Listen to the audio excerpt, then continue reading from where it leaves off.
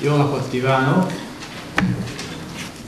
Hölgyeim és öröm szeretettel köszöntöm Önöket. Örülök, hogy részt vettek ebben a sorozatban. Azért tüntettem fel a, az egyetemi tisztségem mellett ezt a felelős tisztséget is, mert ez egy kicsit mindjárt orientálja aki ismeri, akkor azért, ezt a folyamatot ismeri, akkor azért, nem, akkor pedig ki fog derülni, hogy ez egy milyen folyóirat, tehát ez egy társadalomkritikai folyóirat. Még annyit tennék hozzá, hogy én ilyen álláshalmozó vagyok, tehát ezen kívül én elnöke vagyok a Titkosutó Egyesületnek. Ez azért érdekes, mert ugye az az egyesület, amelyik a legrégebbi Magyar Szabad Egyetemet, a József Attila Szabad Egyetemet működteti. Tehát nekem egyrészt van gyakorlatom is, meg én nagyon szeretem ezt a szabad egyetemi közeget. Szerintem nagyon fontos az ismeretterjesztésben, tudományos ismeretterjesztésben az élő szavas, tehát az ugye manapság mindenki a, a, az elektronikus ismeretterjesztést, tehát televíziós, meg internetes részesíti előnyben, ami rendkívül praktikus, de azt gondolom, hogy a személyes találkozás, a tanárnak a személyes jelenlét, az előadás az nem pótolható, vagy hát pótolható, de hát az, hogyha az nagyon túlteng, vagy csak az van, azért az elég elidegenítő, úgyhogy ennek megfelelően, majd hogyha az előadást én lezárom, remélem bele tudom szorítani tényleg ebben a másfél órába, akkor egy olyan 10 perc, negyed órát és szívesen válaszolok is majd a önök kérdésére. Hát azzal kezdeném, hogy mind ez a, ennek az eladásnak a címe, pedig, hogy néztem az egész sorozaté, az kicsit ilyen szintelen szaktalan a sikeredet. Tehát én például, hogyha látom, hogy ezt a címet elsőre, ez kicsit ilyen dögunalom. Tehát nem tűnik olyan nagyon izgalmasnak, amitől hát tolonganának az emberek. Én nagyon örülök, ilyen sokan vannak, ezek szerint mégis várnak valamit ettől. De azzal kezdeném, látszik, ez így nem akar működni, kényte vagyok az egérrel, hogy maga az európai integrációnak az intézmény története az, hát az egy olyan kérdéskör, amiben nincs nagyon sok titok, hogy így mondjam, tehát az e-, eléggé transzparensen valósult meg, tehát ha igazából ezen mennénk végig, hogy mondjuk hát a második, vagy a második világháború után, tehát mondjuk a Montanuniótól, vagy a Schumann tervtől, ami ennek az előzmény egészen napjainkig, vagy legalább az úgynevezett Lisszaboni szerződésig, ami az utolsó nagy hát okmánya, dokumentuma az európai integrációs folyamatnak, ez bőven persze kitöltene ezt a másfél órát, mert ez egy nagyon hosszú történet, és rendkívül hosszadalmas, bonyolult, sok minden elemből tevődik össze. De mondom, ez szerintem hallatlanul unalmas lenne, és nincs is igazán szükség rá, mert ennek hallatlanul nagy a magyar nyelvű irodalma is. Tehát azért tüntettem itt fel internetes elérhetőséget. Ebben az esetben például itt tényleg nagyon jól használható a, a Wikipédiának az Európai Unióra is egyéb Európai Unióval kapcsolatos fogalmar vonatkozó szócikke, szócikkei, Ugye óvatosan kell beszélni ezzel a Wikipédiával válni, de ebben az esetben, mivel egy olyan hatalmas ellenőrzésnek, kontrollnak van kitéve, pont azért, mert ez egy transzparens, világos ügy, itt butaságokat nem lehet írni, mert azonnal kibukna és mindjárt javítanák.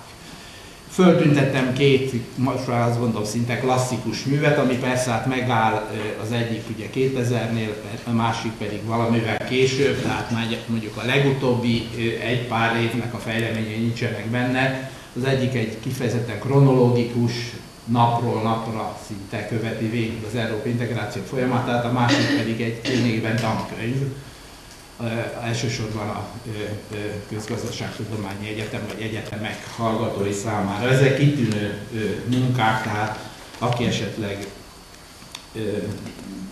el akar jobban igazodni részletekben, azt itt megteheti. Szeretném mindjárt magamat, hogy így mondjam, pozícionálni. Az általam leginkább az én megközelítés módomhoz legközelebb álló tanulmányt írtam Ferenc József és feleségének, az indiai e, származású Mahler Szárkárnak Mi az Európai Unió című tanulmánya. ami a politikatudományi szemlének a 2005-ös évfolyamában annak a harmadik számában jelent meg. Ez ugye nincs szükség, hogy fölírják ezeket az internetes címeket, ma aztán majd ennek a, ez a dia, ez fönt lesz a, az interneten, tehát ha valaki meg akarja keresni, akkor ott majd csak elég rákattintani. Ugye ilyen hosszú internetes címeket leírni kézzel, az elég elmondani, úgyhogy nincs erre szükség. Szeretnék, hogyha bővebben akar ezt a megközelítésmódot valaki megismerni, akkor ugye ez a reklám helye, talán ebben az esetben, mint hogy én szeretném csak mondjuk ezt, amit én képviselek, kicsit népszerűsíteni, ez van az eszmélet folyóirat, amit 1989-ben alapítottunk, én is alapítók között voltam, bár szerkesztőként hát most kereken 20 éve, 93 óta vagyok benne, most már felelős szerkesztőként. Ez az utolsó előtti szám, a 96-os decemberi szám az utolsó.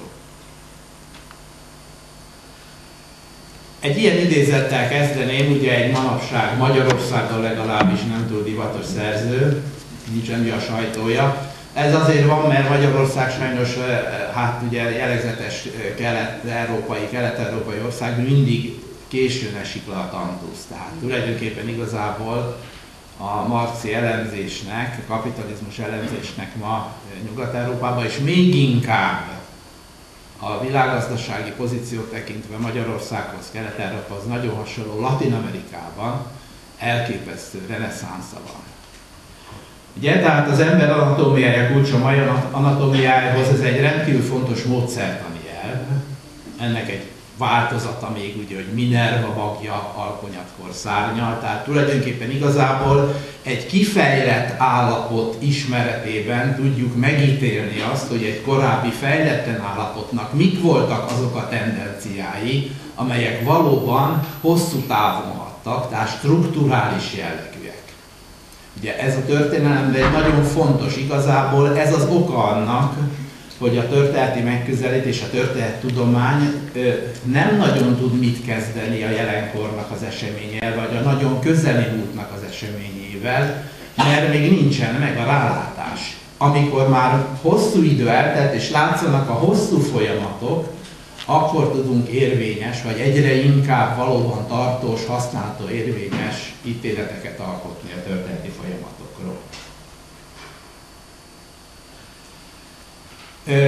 Nagyon közel áll ehhez a megközelítés módhoz, tehát mindez majd el fogunk jutni, megígérem az Európai Unióhoz is, de fontos módszertani dolgokat szeretnék először is tisztázni.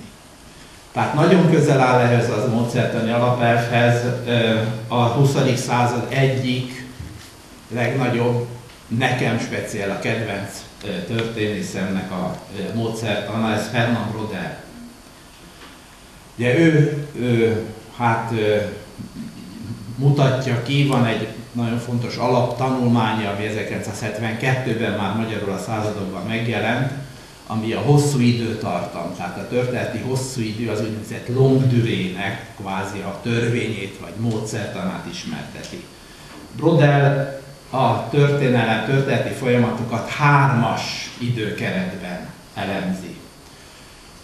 Ugye a kiinduló pont az a, a, az eseménytörténeti idő, tehát azok az napi események, amelyek körülvesznek bennünket. Ugye az újságíró szakmának az a dolga, hogy ezeket próbálja valahogyan értelmezni, eh, orientálni a, az olvasót, a hallgatót, a nézőt. De hogyha e, megragadunk az eseménytörténetnek az idősíkjánál, akkor bizonyosan magát az eseménynek a tényleges súlyára se tudunk e, e, legfeljebb csak véletlenszerűen érvényeset mondani.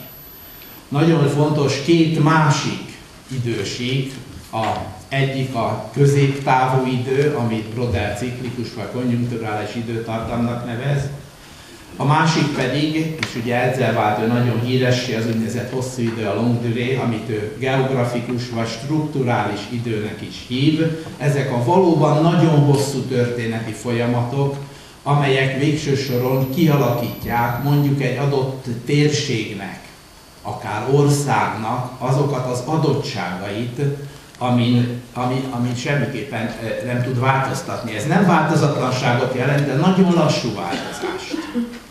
Mondok egy példát egy olyan területről, amit ugye igazából nekem az egyik kutatási területem, ez a közel-kelet térsége. A közel-kelet az attól a világ egyik legválságosabb, tehát állandó mozgásban lévő térsége, mert egészen az antikvitásig visszanyúlóan tulajdonképpen ez az a térség, ami, ahol a három kontinens, három kontinens agrárcivilizációi keresztezték egymást. Fogok majd erről vetíteni egy diát, hogy milyen fontos e, ilyen hát relé szerepe van, összekötő szétválasztó szerepe van e, ennek, a, ennek a térségnek. Most ez egy olyan állandó, strukturális idő, tehát végig kíséri hosszan, tartósan ennek a térségnek a történetét, amelyik a legfontosabb, legmeghatározóbb jegye az itt zajló eseményeknek. Tehát ez a, ez a, ez a loptőré. Most mi ez a középtávú ide? Erre is mondok egy példát. Például ilyen konjunkturális, tehát még azt jelenti, hogy viszonylag rövid idő alatt, de ez azért néhány évtizedet, vagy akár egy, másfél évszázadot is jelenthet, bizonyos folyamatok azok megszületnek, és egy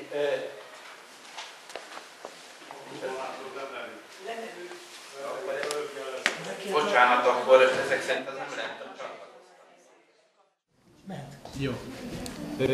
Tehát például ilyen a nemzetnek a jelensége. A nemzetek, a modern európai nemzetek, ugye a 18. század második felében, 19. század elején alakulnak ki igazából a francia forradalom, a francia események hozzák létre a nemzetnek az európai modellét típusát, és utána ez a, a, a, a modern európai nemzet, ez terjed el az európai fejlődésben, az európai fejlődésen kívül.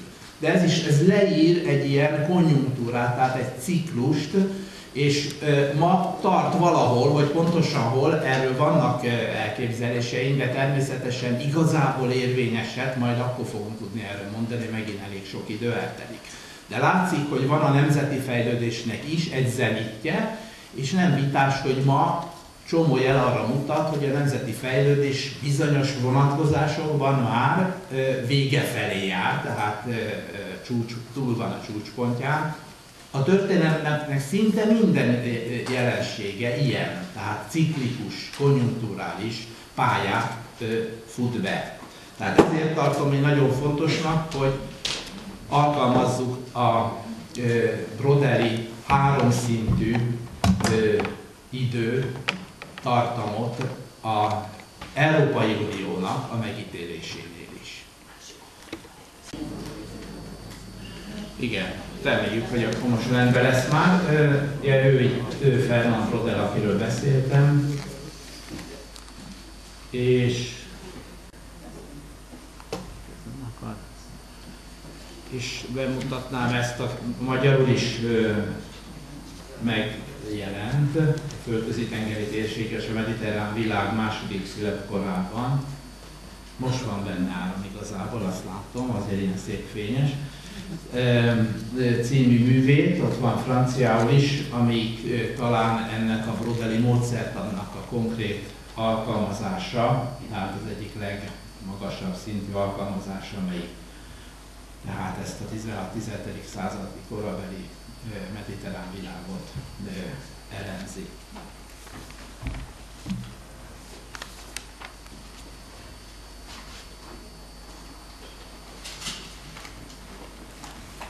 A Prodeli ö, módszer szolgált alapul az alapozta meg az úgynevezett világrendszer szemlélet, vagy világrendszer elemzésnek a módszertanát, amelynek hát a legismertebb és éppen alapító történésze vagy társadalomtudósa Immanuel Wallerstein, vagy hát lehetne angolosan is, ő európai származású, de amerikai, és az általa képviselt társadalomtudományi iskola. Ez egy e, ilyen tréfásan használt fogalom, a négy nagy alakja ennek most már, ugye, akit így is hívtak, hogy négyek bandája, Wallenstein, André Guder, Frank, Giovanni és Samiranin, közülük Wallenstein és Samiranin él még, André Guder már elég régen meghalt, Giovanni Aligi pedig azt hiszem most két és fél, három éve A világrendszer iskola, tehát azért említettem ezt meg, mert ugye néztük a t, a, az idődimenziót, tehát ezt a három történeti időt, természetesen ugyanilyen fontos a térbeli megközelítése is. A történeti események, egy konkrét történeti esemény, az mindig attól is függ, hogy hol történik, térben. Most a, az, a, az a világ, amiben élünk, aminek ugye hát mindenféle nevet szoktak adni, de hát nevezzük néven ez a kapitalista világrendszer, de majd visszatérek, annak az alapvető működési módja ilyen. Eleve a térbeli működése mindig a centrum és a periféria kettőségében. Centrum, fél, periféria, vagy fél centrum érlegű fejlődés a periféria pólusában, két pólusa között fejlődik. Magyarország és Kelet-Közép-Európa jellegzetesen félperiférikus térség. Nem mennék most bele a félperiféria jellegzetességébe, ez is a világrendszer iskolán belül egy nagy kérdés, tehát nagyon nagy ennek is önmagában az, a, a, az irodalma. Talán csak annyit, hogy a félperiféria az a terület, amelyik a legstabilabb, tehát ez ez azt is jelenti, hogy a félperifériáról a centrumba, tehát a legfejlettebb kapitalista országok közé, a mi esetünkben az Európai Uniónak valóban a centrumába, tehát ugye azt, amit Németország, Franciaország, a Benelux államok, a skandináv országok képviselnek, oda fölkapaszkodni nagyon nehéz, szinte lehetetlen, de az is igaz, hogy lecsúszni is nagyon nehéz. Tehát lehet nyilván hát, sajnos utóbbi években hát sokféle rossz politizálás folyt ebben az országban. Az a vigasztaló azért, hogy a félperiféria meglepő stabilitást mutat, tehát nagyon nehéz innen lecsúszni az igazi perifériára. Ez, a, ez Épp Giovanni Aliginak egy hát több nagyon fontos tanulmánya, amelyik ezt, ami ezt, ezt kimutatja. Tehát ez a két fontos dolog, amit szeretnék hangsúlyozni, a Brodeli idő, illetve a Valenster iskolának a térszemléletét. Említettem az elején, hogy számomra nagyon fontos az Európai Unió elemzésénél a Böröc Józsefnek egy tanulmánya. Böröc József, aki sajnos most már hosszú évek óta nem Magyarországon él, de erről egy ebben a megközelítésben egy nagyon fontos angol nyelvű munkát tett közzé, Rutgers University-nek a e, tanára, és a könyv hamarosan a Kaligram kiadónál magyar nyelven is olvasható lesz. Az, az igazság, hogy mi akartuk kiadni már, mint az eszmélet folyóiratnak a kiadója, de nem tudtunk rá támogatást szerezni, szerencsére mások tudtak. Itt bemutatnám, még mindig a reklámhelye, de nem csak az, hanem ezt a bizonyos hát, világrendszer szemléletet képviseli, ebbe egy, egyfajta bevezetés. Ez az általán tartott kurzusoknál most már kötelező irodalom.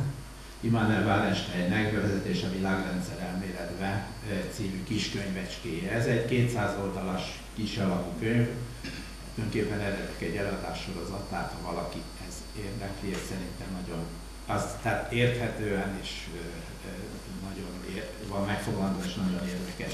A másik fotó pedig ugye, a mester és a tanítvány, ebben a vonatkozásban Fernand Brodel és Wallensteinnek a fotója együtt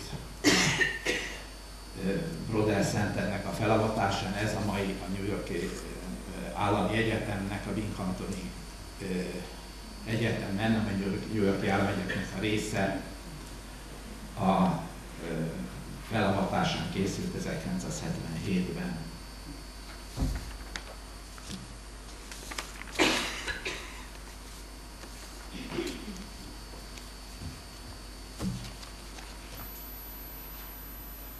Következő fotó, vagy hát ábrát azért tettem fel, szintén Böröc József egy tanulmányából van, de az alapja ő maga is a világrendszer iskolának egy nagyon fontos alapjától, Csézlántól, Csézlán és Holnak a tanulmányából van átvéve. Ez arról szól, és azért nagyon fontos látni, hogy érzékeljük azt, hogy honnan jött, honnan indul el Európa, hát ahhoz képest, ahova aztán eljut. Ezek a, ez a világtérkép, ez köz, az azelőtti viszonyokat tükröz, amikor megindul Európának a felemelkedése, tehát mondjuk 14. század, 13. század vége, 14. század eleje. A világrendszeriskola pontosan kimutatja, hogy a három nagy kontinens, Európa, Ázsia és Afrika, Amerika nem természetesen, az az antikvitástól kezdve tulajdonképpen egyfajta egységet. Tehát ebben a tekintetben ez már egy globális rendszer volt, tehát nagyon intenzív érintkezés volt az egyes térségek között. Igazából e tanulmány szerint, ez vitatható, kilenc nagy kereskedelmi övezet alkotja ebben az időszakban a, ö, az afro-eurázsiai világrendszert, amelynek a súlypontja, ez nem látszik ezen a rajzon, Kelet-Ázsia. Tehát tulajdonképpen igazából a ázsiai és azon belül a kínai fejlődés az, amely a legmagasabb technológiai fejlődés, ezért a legértékesebb, tehát a korabeli világpiacnak, ami nem tőkés világpiac, de mégiscsak létezik egyfajta világpiac, legértékesebb áruféleségeit állítja elő. Ugye egymáshoz kapcsolódó nagy kereskedelmi övezetek ezek, és látható, hogy ennek az egész nagy rendszernek a perifériája helyezkedik el, az a, kés, az a Nyugat-Európa, amely később majd ugye, fölemelkedik, és a világnak a centrumába, centruma lesz. Tehát aztán évszázadokon keresztül, hát egészen a 20. század második feléig azt mondhatnám, tehát a második világháborúig egyértelműen uralja a kapitalista világrendszer, tehát az igazi nagy centruma lesz. Az is látszik, amit előbb említettünk, hogy ugye itt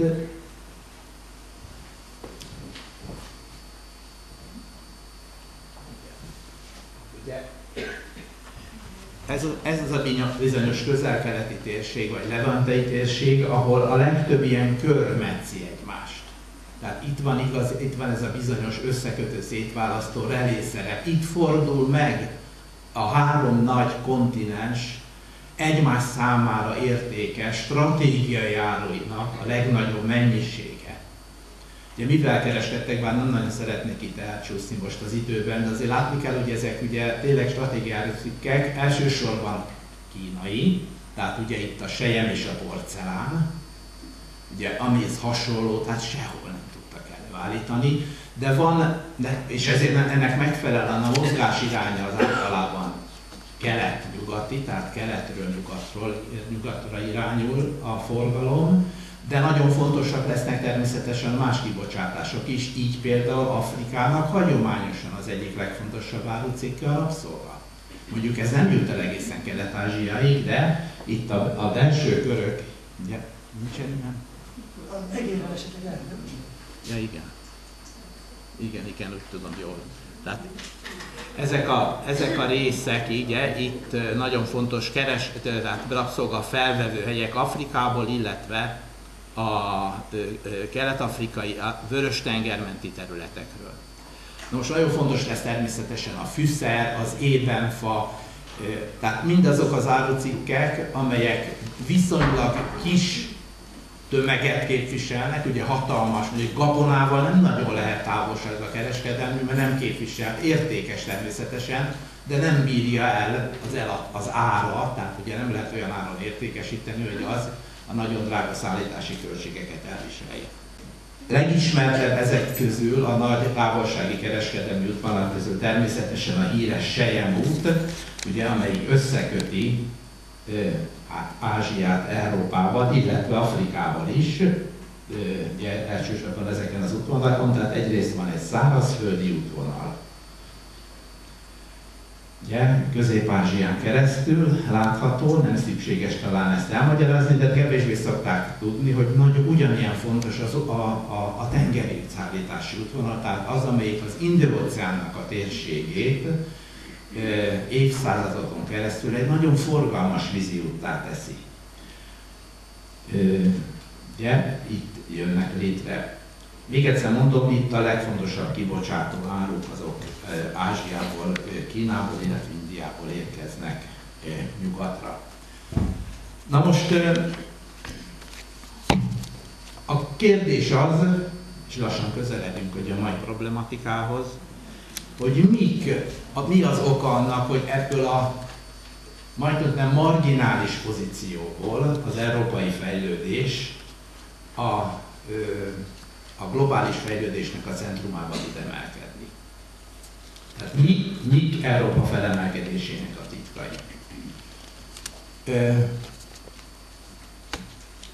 A legfontosabb válasz, majd még fogom ezt részletezni, meg más okok is vannak, az végső soron az, hogy az európai fejlődés képes arra, hogy egy sajátos társadalmi viszonyt, amit tőkének hívunk, a fejlődésnek, a gazdaság működésének a centrumába, a tengelyébe állítsa.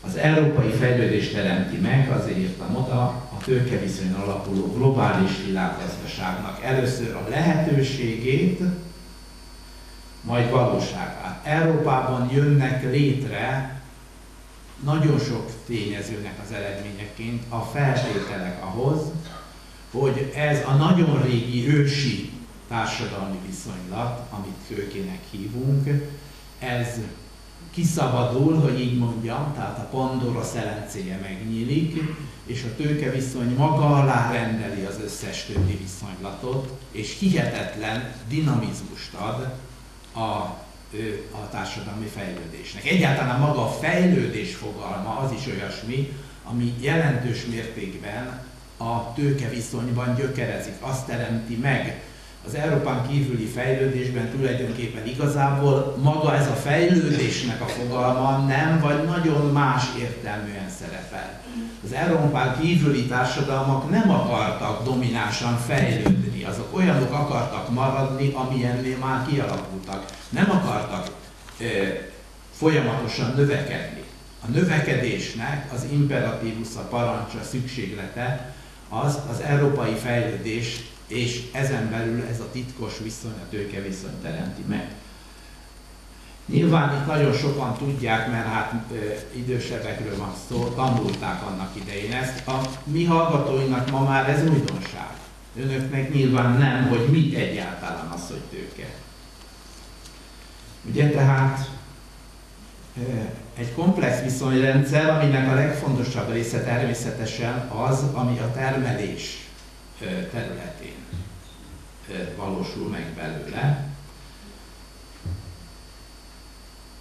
Ugye, tehát ezt a összefoglalást adtam róla, a tőke tulajdonos és a munkaerő tulajdonosok. Mind a kettő magántulajdonos. És mint ilyen azonos helyet foglal a termelés rendszerében, ettől osztály. Ezt is manapság ilyen szemérmesen szokták kezelni, hogy de hát már beszéljünk osztályról, ez túl haladott dolog. Nem, nem így van. A termelés rendszerében elfoglalt hely alapján objektíve, ténylegesen az osztály különbségek, meghatározottságok akkor is léteznek, hogyha ez nem tudatosodik az osztályhoz tartozóknak a fejében ami annál rosszabb nekik, mert nem ismerik fel a saját pozíciójukat. Tehát ez egy hátrány, de attól még az objektív helyzet nem változik meg.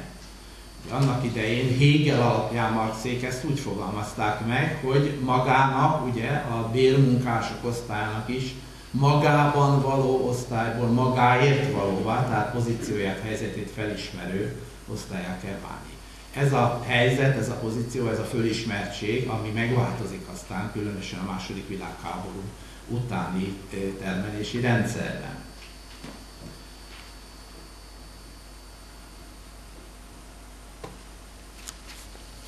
De miért Európa tudja ezt a viszonyt kiszabadítani a bezártságából?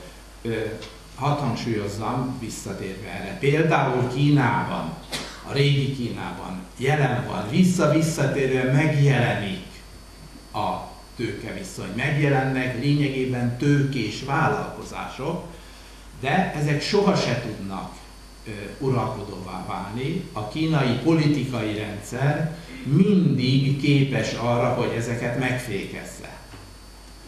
Nem engedik ezeket a tőkés vállalkozásokat arra, hogy bizonyos határon túl menjenek. Ez az oka annak, hogy amikor például megjelenik Kínában is a 13. században egy nagyon erős hajózó, kereskedő társadalmi réteg, és olyan hajókat fejlesztenek ki, olyan óceánjáró hajókat fejlesztenek ki, amihez képest a Columbus Santa Maria egy lélekvesztő. A kínaiak technológiára meg is építik ezt a hajóvadot, minden további nélkül képesek voltak arra, hogy, hogy, ké, hogy kényelmesen hajózzanak az Indi-óceánon, és ha arra vettek volna irányt, akkor természetesen az új világ felé el is indul ilyen hajózás, és utána egyik, mondhatnám pillanatról a másikra tesz, mondta, a kínai császár megtiltja ezeket a hajóutakat. Éppen azért, mert nem akarja, látszik, hogy olyan, ö, ö, olyan vagyoni különbségek létrehozásához vezet ez, ami egész egyszerűen magának a zárt belső rendnek, a rendszernek a ö, fölbomlásához vezethet. Rendkívül tudatosan korlátozzák ennek megfelelően mindazokat a tevékenységeket, amelyek a zárt birodalmi rendszernek a megbontására irányulnak. Ugye ezzel Giovanni Arrighi például részletesen foglalkozott, pontosan azért, mert pont azt mutatja be, hogy ugye annak idején a kínai rendszer, a kínai császári rendszernek a működését déli irányba, tehát ugye dél-kelet irányba egy fantasztikus módon kiépített, úgynevezett hűbérajándékcsere rendszer biztosította. Kína délfelé egyáltalán nem kellett, hogy fegyverkezzen, nem kellett védekezzen katonailag, mert olyan hűbéri kapcsolatokat épített ki ajándékcserével, ahol tulajdonképpen mindig a Kína volt az, amelyik úgymond nagyobb értéket ajándékozott az, az alatvalóinak, aminek cserébe nem várt el mást, mint a lojalitást, a hűséget. De ez egy olyan stabilitást adott, ami nem tette szükségessé azt, hogy, hogy, hogy katonai védelemre rendelkezzenek be. Észak felé nem így volt, ezért építik meg a nagy falat. Tehát ott védekezni kellett ugye a betörő barbárokkal szemben. Teljesen más Dél-Kelet-Ázsia felé, a tenger irányban a kínai császárságnak a magatartása. De mondom, mindez szorosan összefügg azzal, hogy ugye a, a, a régi Kínában, és ez aztán érvényes marad egészen, amíg Európa alapvetően főleg az Egyesült Királyság, Nagy-Britannia a 19. században nem töri fel a kínai piacot, Kína alapvetően egyensúlyra berendezkedett, és a politika, a politikai hatalomnak, a politikai szférának a ö, ö, szupremáciáját, elsőbségét biztosító hatalom maradt, mindig képes volt arra, hogy kézben tartsa a gazdasági folyamatokat, ezért korlátozta a, a meg, meg megjelenő tőkés csirákat is. Egyébként nyilvános nem feladatunk ebbe belemenni, ma is ez a helyzet jelentős mértékben Kínában. Hát ugye Kínaban most is, miközben hát ugye egy rendkívül dinamikus kapitalista fejlődés bontakozik ki, ez legalábbis egészen mostanáig olyan feltételek között megy végbe, hogy a kínai politikai hatalom, kommunista párt alapvetően képes ezeket kézbe tartani. Tehát alapvető irányító, szabályozó, uralkodó, domináns szerepet tud betölteni. Nem azt mondom, hogy ez, ez, ez örökké így lesz, nem tudjuk. Egyelőre a kínai sikerességnek az egyik oka pont ez, hogy nem engedi a, ezeket az automatizmusoknak, a tőkés fejlődéssel együtt járó nyers piaci viszonyoknak, tőkés piaci viszonyoknak az önszabályozó, kaotikus, anarchikus vonásait kibontakoztatni. Na most visszatérve a kérdésre, miért pont Európa az, ahol, ez a, ahol a tőkés fejlődés át tud törni? Tehát először is nagyon lényeges az, amiről el szoktak manapság feledkezni, hogy valóban az európai fejlődés az, amelyik az antikvitásban, a görög fejlődésben, a kréta műkéri civilizációban először hoz létre tiszta földmagántulajdon. Ugye ez aztán mind a Görögországban, a görög poliszokban, mind pedig majd aztán a római birodalomban így marad, sőt ezt az örökséget a római birodalom felbomlása után is az antikvitásnak a korszaka átadja a középvede Európának. Sehol máshol ez ilyen formában nincsen meg. Ennek, hogy ez pontos, ennek a pontos kimutatása, elemzése, ez egy szintén elfeledett egyébként sinológus, ugye Tőkei Ferenc, tehát itt gondolom sokan ismerik a nevét, ennek az egyetemnek volt a professzora, nevéhez fűződik, aki a társadalmi formák elméletéhez cíművében tulajdonképpen visszanyúlik az eredeti marxi írásokhoz, és annak alapján, meg természetesen a saját ismeretei, tehát a saját történeti kutatásai alapján ö, ö, mutatja ki, azt, hogy tulajdonképpen e tekintetben az európai fejlődés egyedülálló. Ez a magántulajdonra, a föld magántulajdonra alapozottság teremti meg a, azt a sajátos európai vonást, amit, amit úgy hívunk, hogy az individuumnak az individualizáció. Az európai vallásosságban, a kereszténységben, mindegyik változatában, de természetesen főként majd a protestantizmusban, ez nagyon erősen szintén megjelenik. Az európai vallásosság az, amelyik tényleg közvetlenül rövidre zárja a kapcsolatot a transzcendencia és az egyén között. Az egyén az személyes Isten előtt, az egy Isten előtt felelős a cselekedeteiért. Nem kenheti rá a, a bűneit ugye a közösségére. Nem tud, nem tud elbújni a saját rokoni, vagy területi, vagy bármilyen közössége közé. Az Európán kívüli fejlődésben az egyénnek ez az elválasztottsága, ez a fajta individualizáltság, vagy egyáltalán nincsen meg, vagy sokkal korlátozottabban van meg. Beleértve még ugye az egyébként azonos törőmetszet, azonos eredetű iszlámot is. Az iszlámban is bizonyos mértékben ez jelen van, jelen van de ott a, a, a igaz hívő közössége az umma tulajdonképpen igazából soha nem engedi el az egyénnek a kezét olyan mértékben, ahogy az, ahogy az a kereszténységben meg, meg tapasztaljuk. Tehát a zsidó-keresztény vallási kulturális alapzat, az individualizáció a másik ilyen nagyon fontos. Enélkül elképzelhetetlen lenne egyébként az az egész szekularizációs folyamat, ami a felvilágosodással, protestantizmussal, reneszánszal, protestantizmussal, majd a felvilágosodással az európai fejlődésben végbe megy. De nem csak ez van. Nyilván van összefüggés így, tehát az egyén központuság, a magántulajdon, ami az alapja ennek, és a között, hogy az európai fejlődés az szemben az ázsiai fejlődéssel például, amelyik soha nem képes a római birodalom felbomlása, majd egy másodlagos képet a frank birodalomnak a felbomlása után, ami természetesen messze nem volt már olyan szervezet, mint a római, többé birodalmi formát ölteni. Az európai fejlődés a frank birodalom felbomlása után mindig azt produkálta, hogy viszonylag hasonló erejű, tehát egy kiegyensúlyozott, szétdarabolt ö, testek, részek fejlődése volt az európai fejlődés történet. Vannak persze megújuló kísérletek időközönként a birodalmiság megteremtésére, de ezek mindig kudarcot Ugye, hát jól ismert aztán az, az, egyik nagy utolsó kísérlet, amely szintén leveti az európai fejlődést, tényleg, mint a, a, a, a kutya a vizet magáról, ugye a napóleoni kísérlet, aztán ugye e, a, a német második császárság, tehát amelyik szintén nagy expanziós elképzelésé vannak, és hát aztán utoljára a harmadik birodalom, a hitleri kísérlete erre. Tehát a hatalmi egyensúly mechanizmusai. Az európai fejlődés ennek megfelelően, hogy egyébként egymással rokoni kapcsolatban lévő, tehát bizonyos értékben szolidáris, ugyanakkor konkurens dinasztiákat termel ki. Egy, ezeknek az egymással való kapcsolatalmi együttműködést is jelent, de állandó rivalizálást. Ez a kettősség határozza meg az európai fejlődést. Az európai fejlődés ezért folyamatosan dinasztiák közötti háborúnak a története. Szembe kell néznünk azzal, hogy ahogy mondjam, a legproduktívabb, vagy hát a idézőjelben legértékesebb, vagy mindenképpen legmeghatározóbb európai hagyomány az a háború.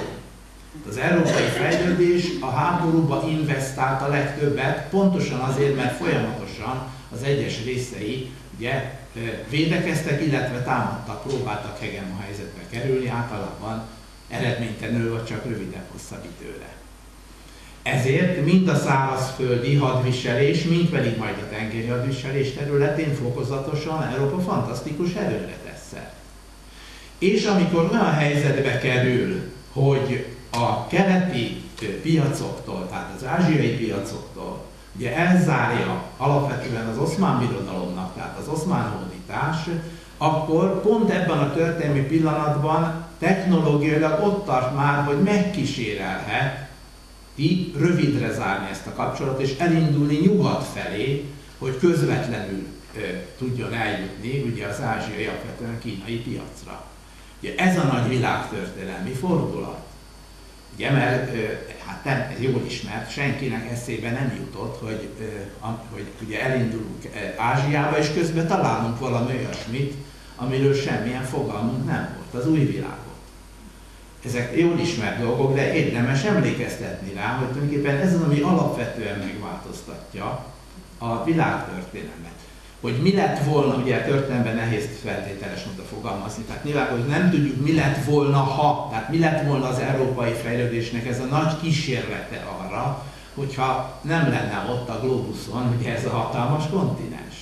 Nem, nem biztos, hogy, hogy, hogy hát részbe ért volna, tehát az, az egy kétségbeesett kísérlet volt, hogy nagyon drágán jutottak hozzá a számokra, nagyon fontos, az európai jólét számára kulcsfontosságú keleti árukhoz, ezért megpróbálták másúton megközelíteni.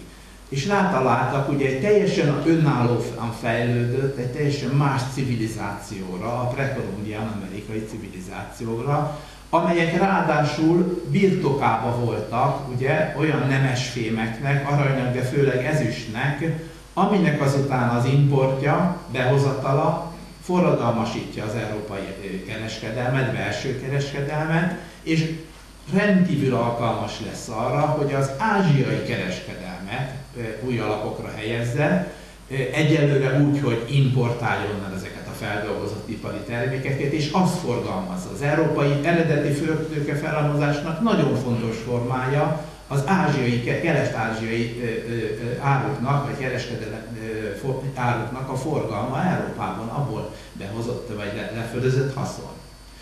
Ugye ez egyébként azt, azt is eredményezi, hogy ennek eredményeként Kelet-Ázsia, Kína konkrétan, ugye még tovább erősödik, mert Kínában is tökéletesíteni lehet, ott is ezüst alapra tudják helyezni az adózást és a belső kereskedelmet. Kína kifelé továbbra sem expanzív, nem kíván hódítani, de belülről rendkívül mértékben tudja tökéletesíteni saját belső termelési rendszerét.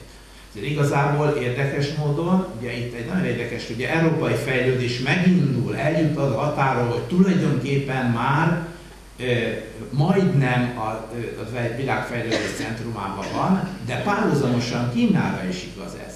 Csak az egy zárt világot alkot. A 18. századi Kína az, az egy tökéletesen zárt, egy olyan tökéletes rendszer, ugye amikor megérkeznek az angol hajók, hogy akkor ők kereskedelmi, kereskedni szeretnének közvetlenül is Kínával, akkor a kínai császár ugye azt mondja, hogy hát nézzetek körül, nekünk itt minden megvan, nekünk nincsen szükség a ti árulitokra. Ha be akartok hódolni, nekünk nagyon örülünk neki, hogy, hogy, hogy eljöttetek, nem is kívánnak tőlük semmit, csak pusztán a gesztust, a behódolást, ahogy a többiek is megtették ezt. De tulajdonképpen nem nagyon látszik, hogy milyen, mi az az áru, ami számunkra érdekes Ugye, az angolok aztán sokáig gondolkodnak, hogy mi lehet ugye ez az áru, és hát nyilván tudják, hogy mi lesz ez az áru, amivel, amit aztán majd megterem. Nincs, nincs igazából kereslet semmire, mesterséges keresletet kell teremteni. Mi lesz ez a kereslet? Így van. Na azért mondom azért így, hát nyilván történelemben járatos emberek vannak, az ópium lesz, ami ismert volt a kínai mandarinok körében, de nagyon, az egy luxuszik volt. Nagyon szűk körben, és hát nagyon korlátozottan fogyasztották. Ugye Indiából, a stabilan már gyarmatosított Indiából fogják behozni, bevinni Dél-Kínába, ugye, az ópiumot, aztán fokozatosan persze ez, ez iránt megjelenik, hogy kialakul a függőség, tehát bizonyos csoport között, és folyamatosan nő a kereslet. És amikor aztán a kínai politikai vezetés megpróbálja ezt korlátozni, akkor úgymond a szabad kereskedelem európai elveire hivatkozva, hát katonailag megtámadják, ugye, tehát lényegében katonai vereséget mérnek a két ópiumháborúba Kínába, és így tudják föltörni a kínai piacot. De most ebből a szempontból az, hogy ugye mi a teát tétje, mert miért kell ez az angoloknak? Az, hogy a korábbi évszázadokban az új világból Kínába beáramlott, épp az európai kereskedés által Ugye ez általában úgy, úgy ment, hogy spanyolok hajók Fülöp-szigeteken keresztül vitték az új világból az ezüstöt. De mindesetre ezt az új világból Kínába bekerült ezüstöt kell kiszivattyúzni ahhoz, hogy ez új lendületet adjon az európai kereskedelemnek.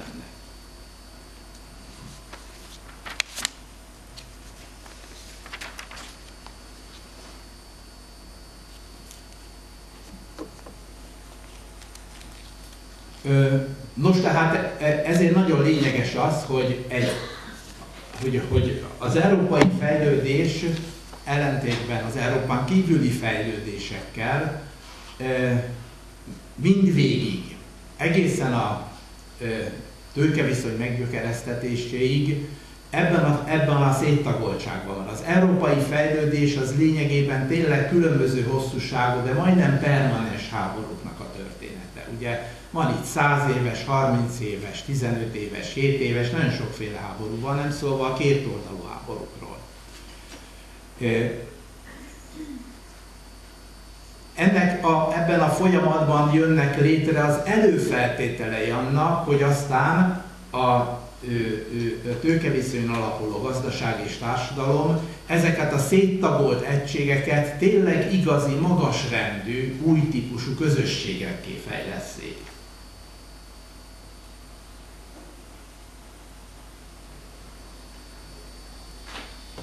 ezt a diát szeretném, ez pedig a nemzet lesz.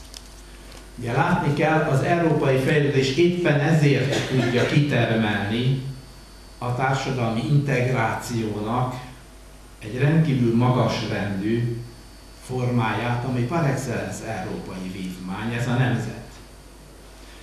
Ugye ennek nagyon jelentős magyar teoretikusai vannak, tegyem hozzá, hogy nem kellően méltányolt nagy teoretikusai, akik kivétel nélkül kötődtek ugye ehhez az egyetemhez. Itt három nevet írtam föl, ugye Vibo kötődött volna jobban is, hogyha múlt rendszerben hagyták volna szabadon írni és kutatni, de ugye Szűcs Jenő talán, aki a legismertebb, aki végső soron a 70-es években több nagy tanulmányban a modern nemzetnek a kialakulását ról hát nagyon fontos dolgokat írt, de ugyanúgy nagyon fontos Bíbó ide az elemén, vagy az az Ág aki hát ugyanebben az időszakban, meg 80-as években is hihetetlen fontos tanulmányokat tesz közzé, manapság most már inkább hát, politikai elemzéssel foglalkozik, szerintem jobb lenne, mert elképesztő tudású emberről van szó, hogyha itt az elméleti filozófiai kutatásoknál is maradt volna.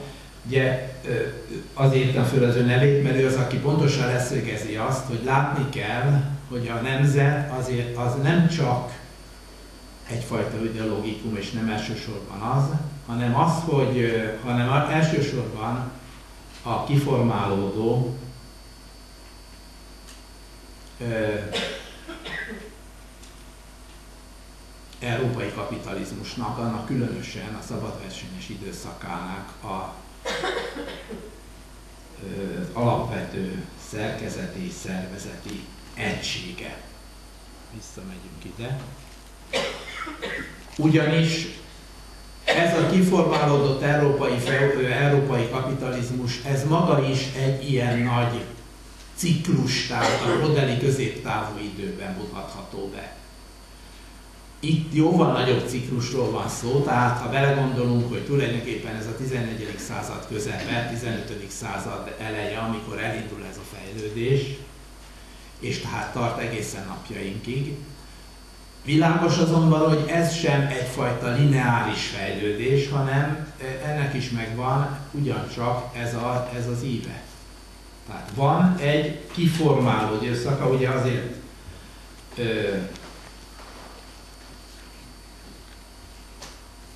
írtam oda Hobsbawmnak a nevét, mert ugye most halt meg decemberben, nagyon idős,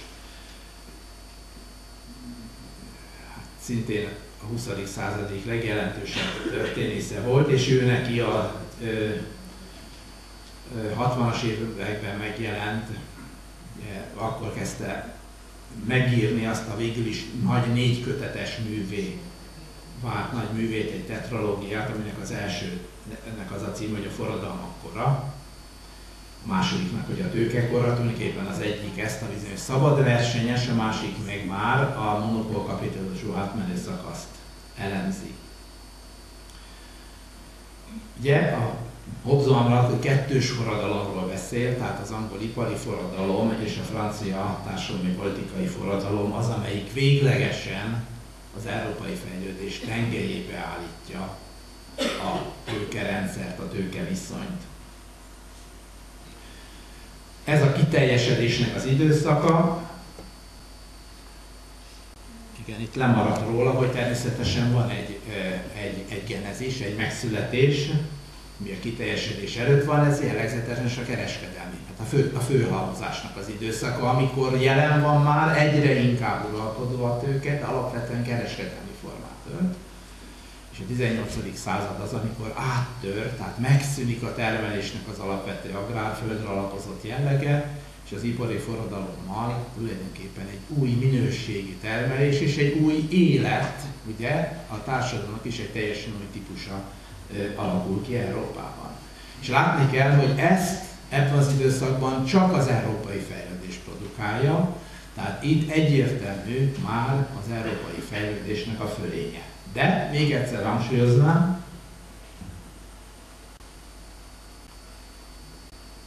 na, akkor rossz irányba megyek, hogy mindez nemzeti keretek között történik meg, a nemzet lesz az európai fejlődésnek a par excellence útja. Ugye?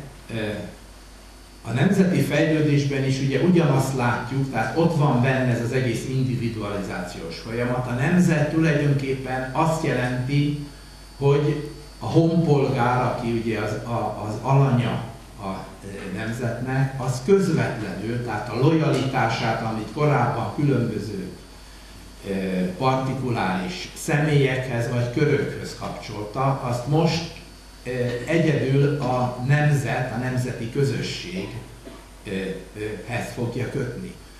A nemzeten ugye elvárás minden egyes honpolgárral szemben nemzettartozóhoz képest, hogy az ő saját önazonosságának az első számú eleme a nemzethez tartozás legyen. Szűcsenő mondja, a nemzethez tartozás igazol mindenfajta más lojalitásnak az elutasítását vagy háttérbe szorítását.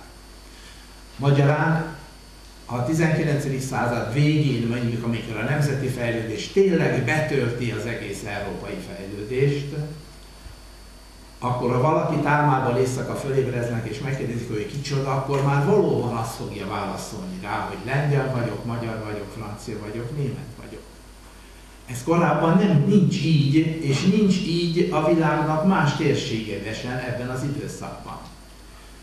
De? Tehát az európai fejlődés, amelyik, eh, amelyik a, a nemzetnek ezt a különleges formáját létre fogja tudni hozni. Például, hogy a közel-keleten, hogy vele hasonlítsuk össze, a közelkeleti fejlődésnek e tekintetben éppen az a sajátossága, hogy bár megpróbálnak valami hasonlót csinálni, mint a nemzet, ugye, tulajdonképpen sose sikerül. Tehát mindig többféle ilyen identitás együtt és egymással versengő formában van meg. Egy, nem tudom én, egy egy palesztin, vagy egy szíriai, vagy akár a Magreb országban is, az ugye ingadozik a között, hogy saját magát palesztinként, szírként, arabként, vagy éppenséggel lesz fönnáll még valamilyen törzshöz tartozóként határozza, még mindig attól függ, hogy milyen a szituáció. Az európai fejlődés teljesen egyértelművé teszi, és rendkívül erős önazonosságá a közösségiségnek egy nagyon nehezen túléphető, és talán nem is biztos, hogy túlépendő, tehát nem is kereszt túlépni, változatává, formájává teszi a nemzetet vissza fogunk még ehhez térni, mert ez az európai integráció kérdésében szerintem kulcskérdés. Ezért is írtam, hogy na most már lassan megérkezünk végre az EU-hoz is.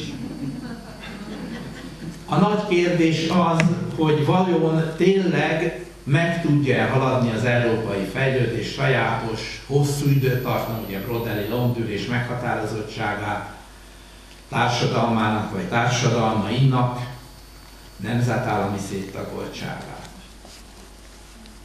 A kérdés, hogy ez másként, érdemes -e egyáltalán erre törekedni, feladva a nemzeti fejlődés hagyományát, vagy lehet más a politika, ugye, hogy egy ismert, tehát valóban nem hiba-e az, hogy valóban, ugye a, most különös a globalizáció viszonya között az európai integráció olyan irányba próbál menni, ami tulajdonképpen szembefordul ezzel a, ezzel a szerintem túlléphetetlen hagyományjal.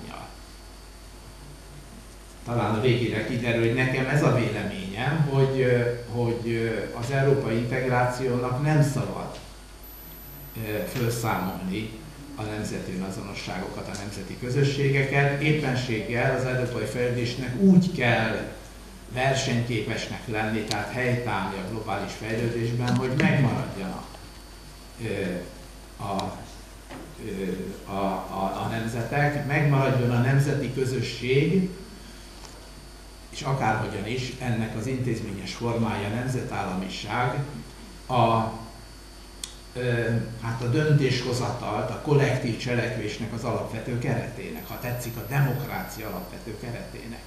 Minden olyan kísérlet, amelyik megpróbálja mondjuk például, de erre is fogok térni, de hadd előlegezzük meg, amerikai mintára Európát átalakítani, tehát egyfajta Európai Egyesült Államokat, az már egy másolat lenne, és mint tudjuk, minden másolat az csak rosszabb lett, mint az eredeti. Nem kell, nincs erre semmi szükség, de az hagyján is rá szükség, nem is lehet. Tehát ennek a következménye katasztrofális biztos, hogy ebben, ebben az irányba, vagy legalábbis véleményem szerint ebben az irányban nincs kibontakozás.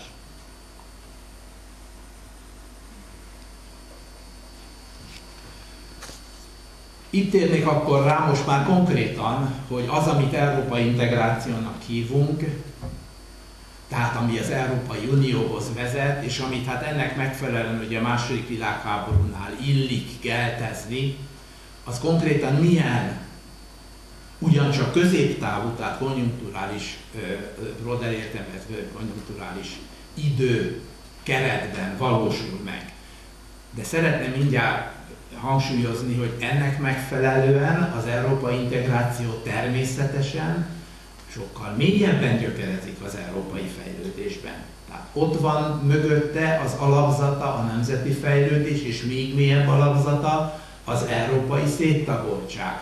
Magyarán az, hogy az európai fejlődés ugye olyan egységeket termel, amelyek mind önálló, egymástól jelentős mértékben különböző kultúrákat hoz létre, nyelveket hoz létre.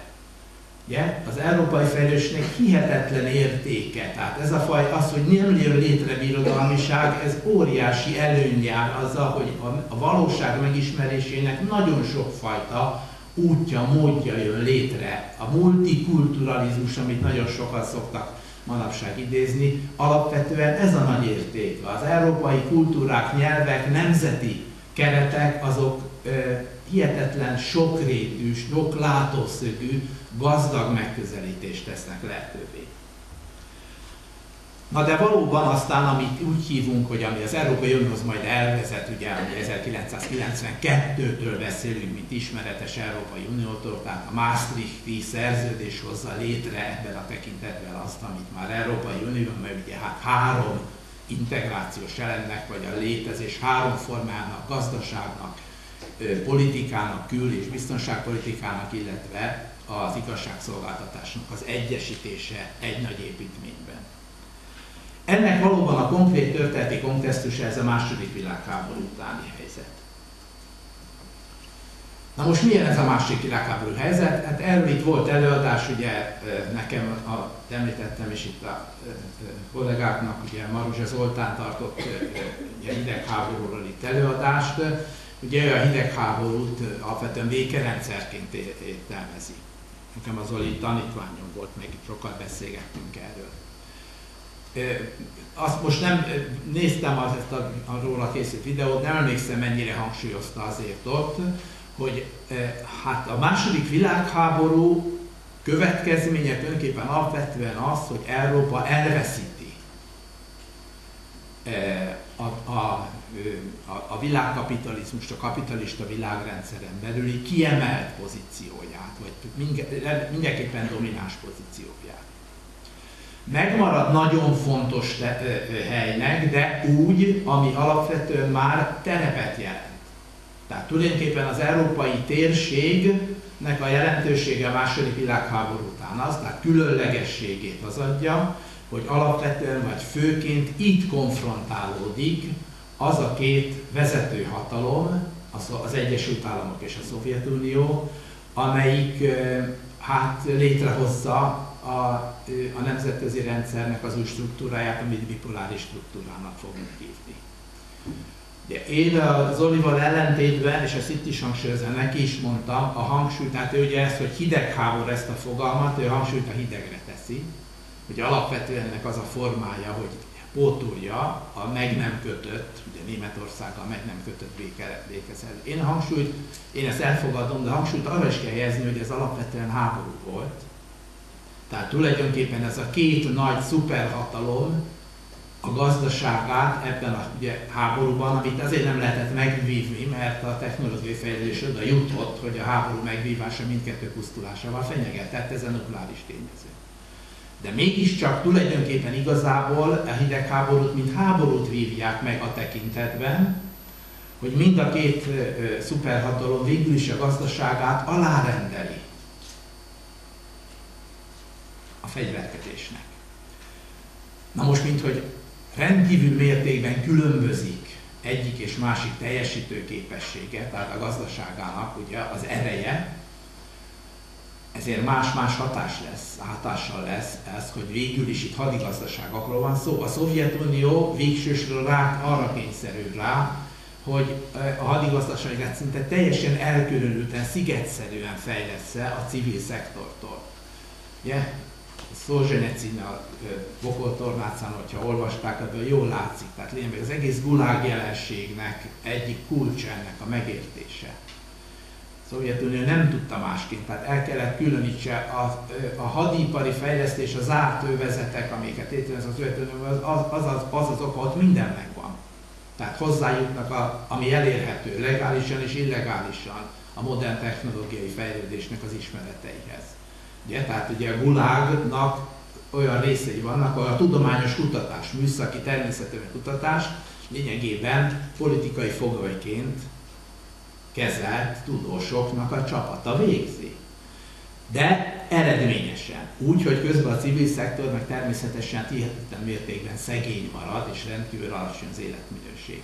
Na mindegy, lényeg az, hogy ebben a folyamatban, hosszú folyamatban, fél évszázados folyamatban végül is a hidegháborút, mint háborút a Szovjetunió elveszti.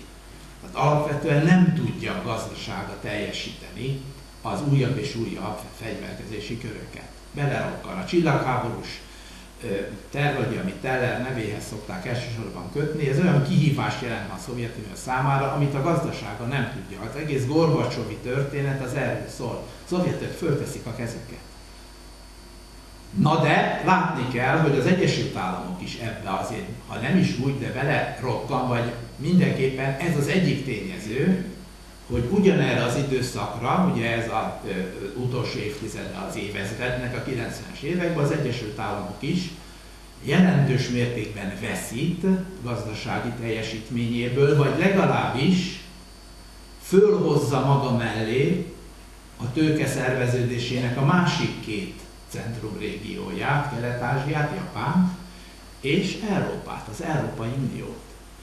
Tehát amikor ezt írom, hogy az európai euróatlanti integráció történeti ideje, a második világháború, idegháborús rendszer időszak, akkor látni kell, hogy az európai integráció és Európának ez a fajta fölemelkedése, ez annak a következménye, hogy, hogy Európát tulajdonképpen kizárják abból, hogy komolyan részese legyen a hidegháborúnak, mint háborúnak. Az egész európai, nyugat-európai térségnek ugye mindmáig, és most pláne látszik, a legdinamikusabb, legerősebb gazdasága a német gazdaság. Németországnak megtiltják a fegyverkezést. Német hadsereg nem, fegyel, nem fegyverkezhet. Ami politikailag korlátot jelent, gazdaságilag hihetetlen elő. Ugye nem folyik el az a hihetetlen társadalmi tőke, amit az Egyesült Államokban elfolyik. Igaz, hogy az Egyesült Államok aztán ezt a katonai fejlesztést ezt visszaforgatja a civil szférába, de a veszteség akkor is veszteség. Tehát mind Németország, mind Kelet-Ázsiában, Japán tulajdonképpen azért nő meg, azért emelkedik ki, mert nem kellett, mert nem engedték, hogy fegyverkezzen. Ugye nem, nem pusztult el a termelőknek az a hatalmas tömege, ami az Egyesült Államok esetében akár csak tisztán a erkölcsileg elavultnál nyilvánított új fegyvergenerációk esetében történik, ami például a rakétafejlesztés, ugye, vagy, a, vagy az atomfegyverek, ugye, tehát ezeket kifejlesztik, nem vetik be, mert nem lehet bevetni, de egy idő után erkölcsileg elavultnak minősítik, leépítik és újat állítanak elő. Mert különben nincs meg az elretentésnek a hitelessége. Ugye? Ez hihetetlen sok forrást von el. Az európai integrációt, azt nagyrészt Európa gazdasági megerősödését, és ugyanez a helyzet Japánnal is, jelentős mértékben az teszi lehetővé, hogy ez a két térség ugye, vezető államai, tehát ugye ezért látni kell maga az egész európai integráció az alapvetően, főleg arról szól, mi történik Németországgal. Igazából az alapja, megnézzük a kezdeteit, Németország és a vele történelmek mindig rivális Franciaországnak, az a kényszerű hát összefogása. Ugye pont most volt a évfordulója nagy német-francia kibékülésnek, amit ugye ugye a, a, a Remszi katedrális előtt, ugye Remszbe írta le De Gaulle és Adenauer. Ö, ö, ugye ö, az európai, akkor még közös piac, vagy európai gazdasági közösség, majd európai közösségek, az Európai Unió gazdasági megerősödésének a legfontosabb feltétele ez, hogy ebben a kontextusban, a hidegháborús kontextusban egy ilyen tulajdonképpen politikai értelemben elárendelt szerepet tudott csak betölteni. Na most hát ugye ennek megfelelően ugye ezek a, ezek a szakaszai, ezekről én most külön nem foglalkoznék, ugye? Van az első szakasz, és itt van mindjárt a második, tehát az egyik lényegében a hidegháborúnak a leg hidegebb időszakát foglalja magába. Nagyjából az enyhülést ugye, hogy van ez? Igen, a 60-as évek elejétől számítjuk.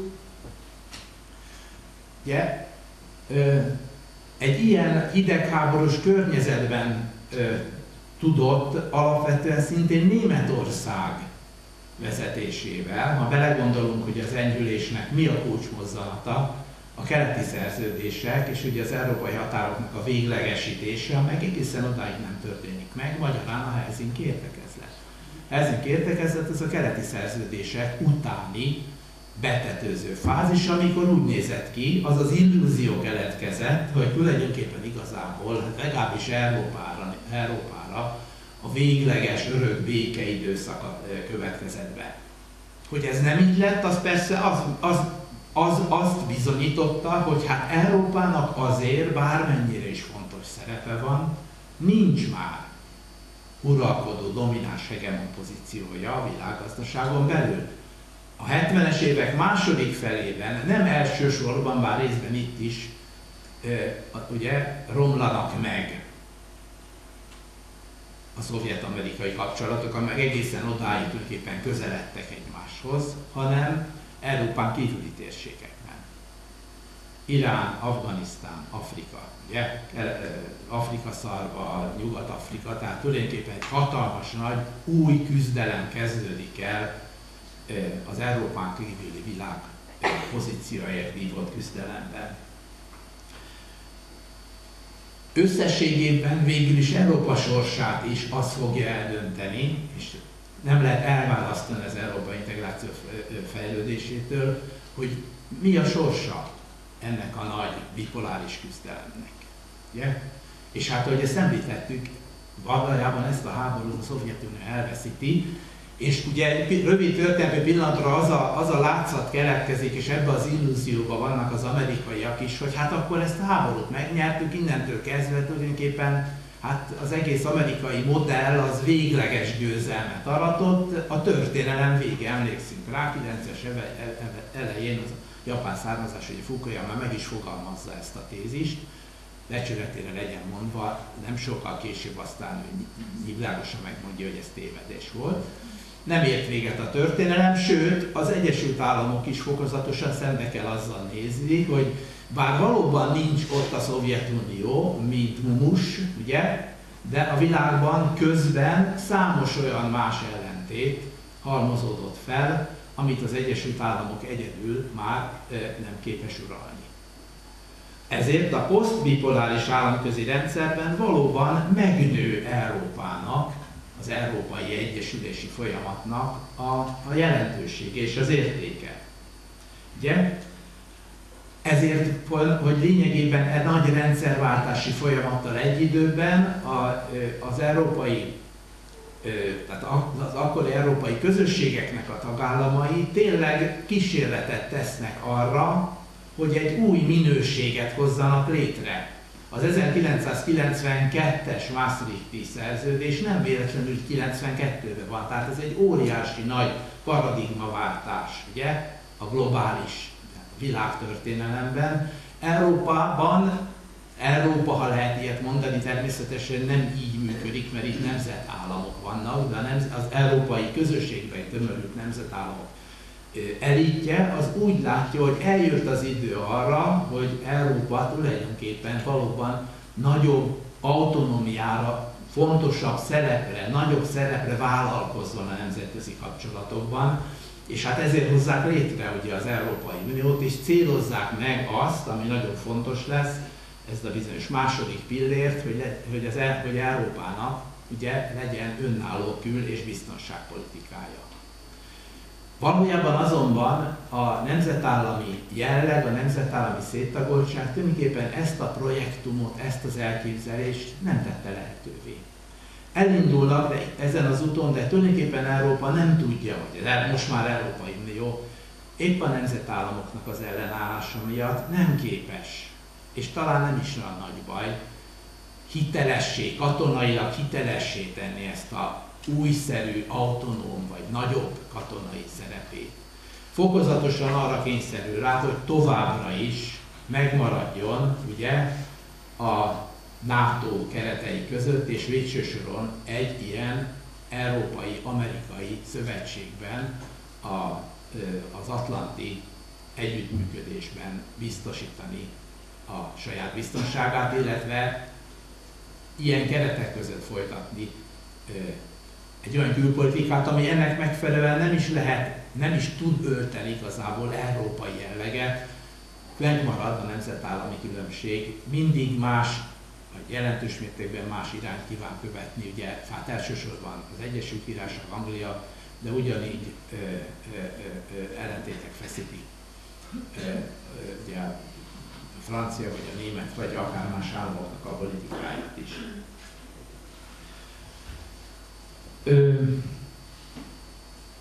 Különösen így lesz ez azután, ugye itt vannak a következő szakaszok, amikor a 90-es évek második felében, majd a 2000-es évek elején komolyan fölmerül az, hogy úgy is lehetne növelni Európának, az Európai Uniónak most már a, a súlyát, hogyha a Szovjetunióval együtt ugye megbukott vagy megszűnt kelet-európai államszocialista rendszerek valamiképpen integrálódnak, integrálódnának az Európai Unióba.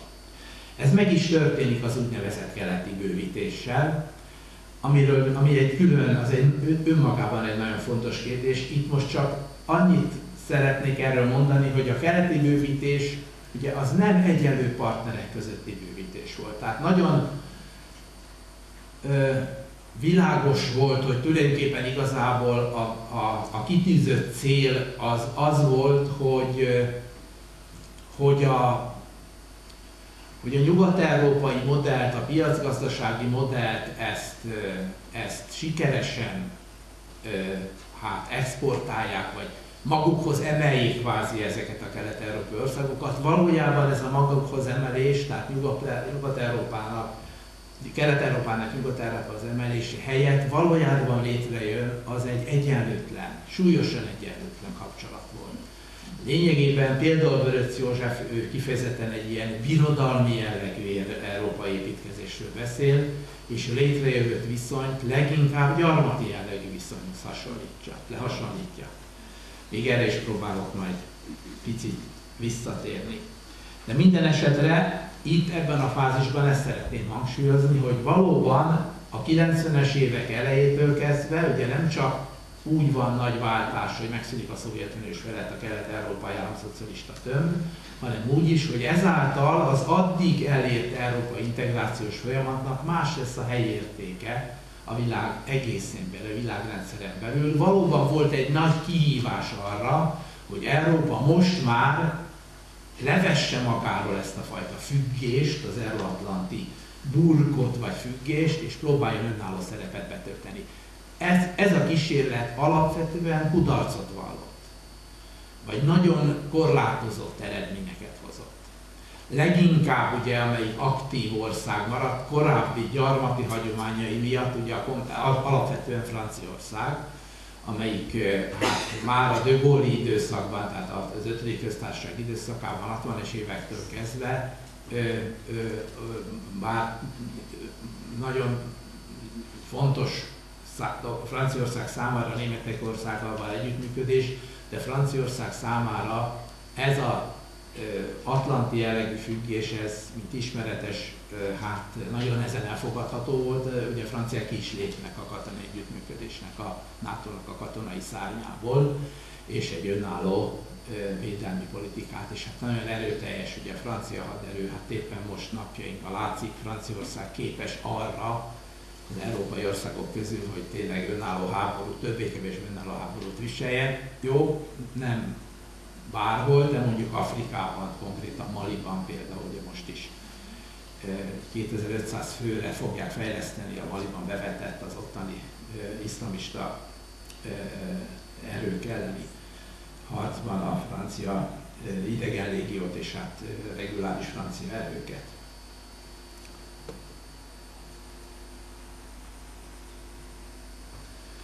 Na most így jutott el az európai integrációs folyamat, ugye, most nem vesszük ezeket az összes szakaszt vagy összes eredményt, tulajdonképpen a, addig a hát, súlyos válság, ami 2008-ban sújtotta, ugye nem elsősorban Európát, de a következményében Európát is, tehát maga a válság az az Egyesült Államokban robbant ki, mutatva azt is, hogy továbbra is azért még az Egyesült Államoknak a gazdasága, és az ott történt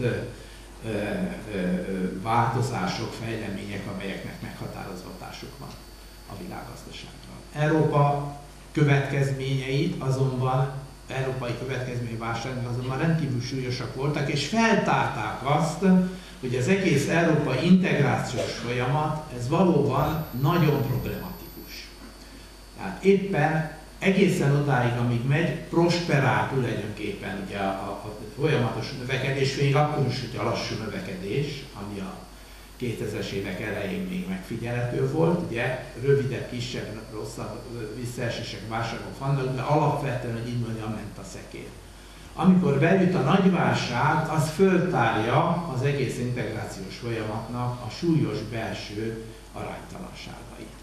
Így például hát elsősorban azt, hogy a létrehozott úgynevezett európai monetáris rendszer, tehát az eurozóna alapvetően nem megalapozott, tehát úgy hozták létre, hogy annak a közgazdasági alapja is rendkívül mértékben megkérdőjelezhető.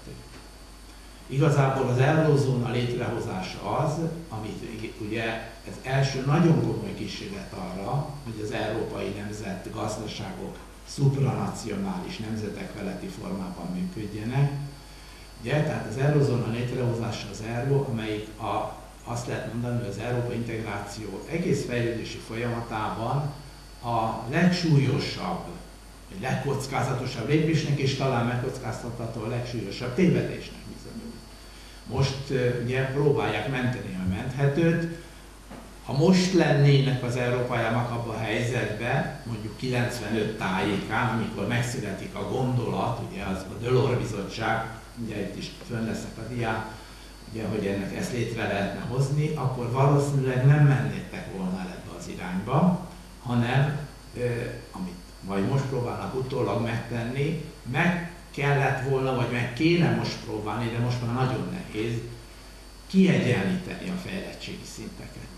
Tehát az egész válságnak a legfontosabb oka az, hogy kiderült az, hogy egy egységes valuta, egy erős valuta különböző fejlettségű, nagyon fejlett és nagyon fejletlennek mondható a görög ilyen például, vagy a portugál gazdaságok számára, ez pusztító jelleggel bír. Hirtelen, gyorsan, radikálisan csökkenti a versenyképességüket, polarizálja az euróvezeten belüli országoknak a, a gazdaságát. Tehát nem, hogy nem hat kiegyenlítőleg ez a közös pénz, hanem éppenséggel szétfeszíti, szétnyomja a fejlettséget. Ez alapvetően a mostani válságnak az oka. Jó, ezen átugornék, mert ez kicsit elment az idő, mindeset csak jelzem, hogy az egész folyamatot, ezt egy magyar származású, Amerikában élő, most is élő közgazdász, Balassa Béla fogalmazta meg a Theory of Economic Integration című művében, ez nagyon sokat idézett, tehát ez egy fontos modell, amit ő fölvázolt. Azért írtam fel, de hadd nem mondjam, most olvassam ezeket végig, tehát öt lépcsős modell. Azért tettem oda végére a kérdőjelet, hogy amikor ezt megírta, ez nagyon régi, 60-as évek eleje. Tehát fölvázolja, hogy hogyan nem csak Európai Unióra vonatkozik, hanem így lehet végigmenni az integrációs, integrációnak az útján. Ugye most tartunk ott, ugye ide, van egy egyikhez, most tart itt az EU, az ötödik lépés nem fog menni. Azért tettem oda a kérdőre, semmi jel nincs arra, hogy valóban, bár, bár az is igaz, hogy a mostani vitákban vannak, akik ezt képviselik. Tehát magyarul azt, hogy Európának igenis túl kell lépni tehát még több a szuverenitásoknak, tehát a szuverenitás egészén belül még több elemet, beleértve a politikai döntéshozatat, is föl kell adni nemzetállami szinten, és egy föderatív, ugye még ennél tovább nem mennek, de alapvetően egy föderatív jellegű, tehát szövetségi Európát kell létrehozni. Hát ugye, hogy ez a Európai Monetáris Unió, tehát az erővezetnek a gazdag, tehát amely, ahol viszonylag jól átviselik a gazdaságot, azon belül megy-e, az is kérdéses, de hogy a, az Európai Jövezet, a Monetáris Unió perifériáján, tehát dél-európai országoknak a, a, a részvétele egy ilyen politikai unióban, ez, ez szinte elképzelhetetlen. Gyakorlatilag a mostani helyzetben, ha egy ilyen politikai uniót megteremtenek, az tulajdonképpen egy, azt mondanám, hogy egy lényeg, egy teljesen gyarmati struktúra, ami teljesen el, lehetetleníti, tehát te, teljesen hát ilyen szolgai szerepre, alárendelt szerepre kényszeríteni alapvetően ebben a szituációban most a mediterrán országokat, nem csak Görögországot, hanem, hanem Spanyolországot, Portugáliát és Itáliát is, ami, ami, amivel szemben olyan nagy az ellenállás, hogy, hogy ez egyelőre semmi esélyét ennek én nem látnám. Na most hát egy kéne megbeszélni azt, hogy végül is mi is ez az Európai Unió, mert hát nem tudjuk, ugye? Mi az Európai Unió? Egy, egy sor vonás mutat arra, hogy olyan jegyek vannak, amelyik állam, mintha állam lenne. Rendszeres parlamenti választások, ugye folyamatosan fogadnak el törvényeket, rendeleteket, jogszabályokat, van kétség kívül egy jelentős hatalom, amiről elkülönült bürokráciája, sőt talán túl nagy is, az erokrácia. Vannak saját megfogalmazott politikái, ezek közül legismertebb a mezőgazdasági politika, amire tegyük mindjárt hozzá, hogy ez is egy ilyen hosszú távon ez már biztos, hogy nem megy, és rendkívül káros, hogy ez megy. Tehát egy olyan mezőgazdaságot hozott létre, amelyik, amelyik hihetetlen mértékben hát, összeférhetetlen a, a, a, a környezettel, ugyan ellenállnak ugye a, a, a, ezek, akik ilyen most, hogy hívják ezt magyarul, a genetikai, a manipulált génmódosítottak, de hosszú, tehát benne van az európai mezőgazdasági fejlesztési irány, hogy előbb-utóbb hát ez abban az irányba megy, mint az amerikai vagy a brazil, tehát ezt át kéne venni, nagyon nehéz lesz ennek ellenállni. Na mindegy, lényeg az, hogy valóban van van ilyen, hogy mezőgazdasági, környezetvédelmi, kereskedelmi, sőt versenypolitika, van természetesen egy rendkívül kiterjedt saját joganyag, ugye ennek az átvétel, ezt hívják itt a francia kifejezés használják az antikommuniter, ennek az átvétele volt előfeltétele annak, hogy a kelet-európai országok, vagy bármelyik más később csatlakozó egyáltalán. Tehát a saját nemzeti joganyagába be kellett ezt építeni, addig nem is álltak vele szóba, ugye? Ez több éves folyamat volt.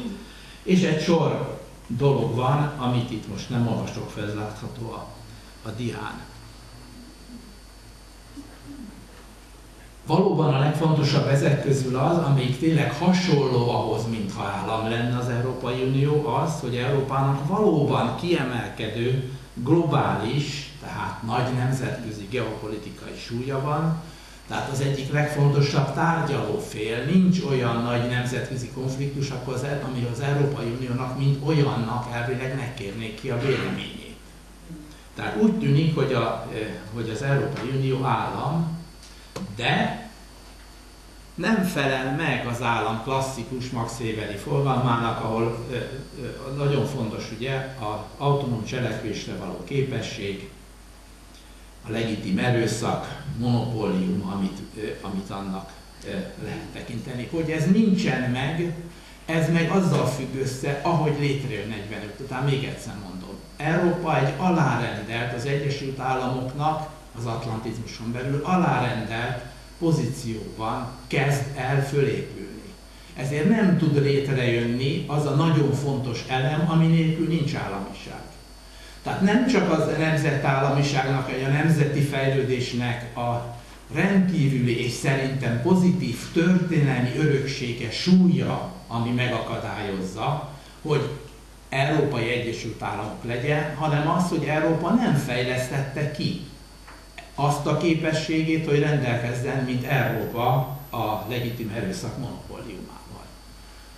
Alapvetően ez ugye ez a haderőnek, a védelmi képességnek, mint európainak a, a hiánya. Ugye csak egy zárójel, a kezdet kezdetén, tehát 50-es években már volt ilyen kísérlet, tehát akkor úgy nézett ki, hogy elindul az európai fejlődés ebbe az irányba. Volt is egy ilyen terv, úgy hívták, hogy Európai Védelmi Közösség, a franciák terjesztették elő, és mindenki meg is szavazta, kivéve a franciák. A francia parlament leszavazta az Európai Védelmi Közösségnek a tervét, és akkor föladták. Helyette lett egy ilyen torszülött valami, amit úgy hívtak, hogy Nyugat-Európai Unió, ez egy kis védelmi szervezet volt, de ugye alá volt rendelve a nato bizonyos autonómiával rendelkezett, igazából emlékeim szerint valamiféle inkább szimbolikus pozíciót a jugoszláv háborúban, a Balkán háborúban ilyen határvédelmi, biztonsági szerepkörre megszűnt későbbiekben. Ezt 1954-ben hozzák létre, amikor megbukik ez a terv. Na ott akkor szó volt arra, hogy lett volna egy, természetesen nem NATO-val szemben álló, de a NATO-tól elkülönült, nem NATO vezérlésű önálló európai erő. Onnantól kezdve nem volt, ma sincs. Tehát az Európa, ez az európai valami, ugye, amit Európának hívunk, ami nem állam, ez szorosan integrálódik egy alapvető függőségi viszonyba, amit NATO-nak hívunk. Ez különösen azután vált izgalmassá, mert volt egy esély, hogy ez megszűnjön, mikor, amikor megszűnt a NATO-nak a kinevezett ugye, ellenség, a Szovjetunió, de 92-ben NATO ugyancsak egyfajta metamorfózison átmegy, és, és új ellenséget nevez meg. És ma már a NATO az nem észak-atlanti, ugye, mert a tevékenysége lényegében globálissá vált, tehát messze benyúlik Ázsiába. NATO erők vannak Afganisztánban is, ugye? Tehát az EU szögeit, szögezzük le, nem állam. Hát itt hasonlítottam össze az EU-t és az USA-t, elsősorban Sami Ramin, aki a világ rendszerelméletnek ma is élő nagy aktív alakja. Tehát ugye, ha csak a GDP-t vesszük, tehát népességet vagy a, vagy a, vagy a GDP-t, akkor az USA-val kétségkívül azonos nagyságrendű lenne, de egy csomó területen Európa más, mint az Egyesült Államok, és nincs is esélye arra, én azt mondanám, nincs is szükség arra, hogy másolja az Egyesült Államokat. Európának saját történelmi hagyományainak az alapjain, mint alapon, bázison kell nagynak lennie, ahol nem adható föl a, a nemzeti előzmény, a nemzeti elkülönültség.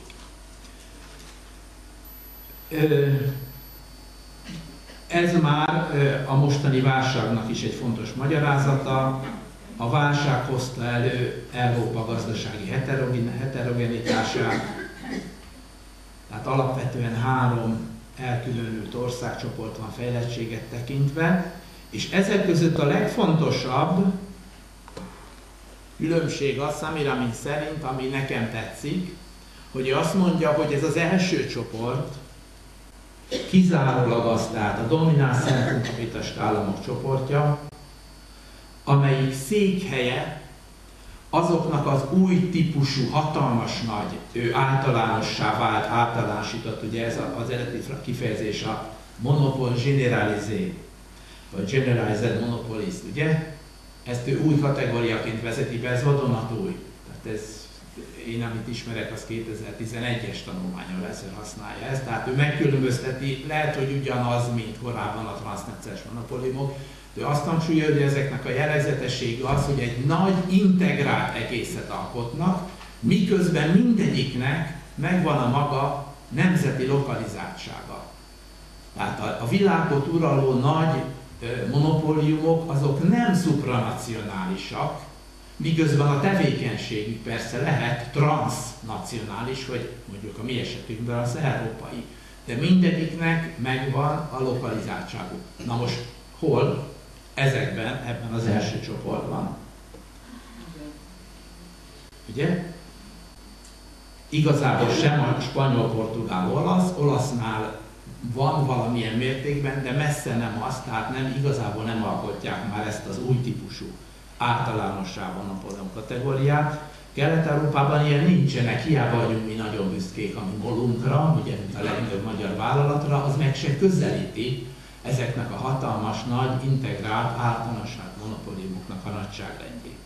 És alapvetően ezek, Szami Ramin szerint, bocs, hát ezt a szöveget kéne mostan hosszasan felolvassam, mert ez ott van összefoglalva, de a dolog lényeg az, hogy ez a domináns centrumkapitalista államcsoport a székhelye ezeknek, a nagy új típusú monopóliumoknak, és alapvetően ezeknek az érdekei érvényesülnek a mai Európai Unióban. Na ez nem nagyon látszik. Látszik azért nem, nem? Ez érdekes. Jó. Hát igen. Jó, akkor itt olyan színeket használtam.